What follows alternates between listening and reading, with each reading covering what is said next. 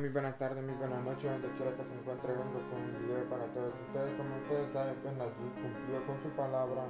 El puente del río Torola ya está terminado, ya están circulando carros, nada más se están haciendo los últimos detalles, los últimos preparativos para poder inaugurar el puente. Ya está a, a disposición de la población salvadoreña para que puedan circular tanto como personas como carros. El puente ya está terminado.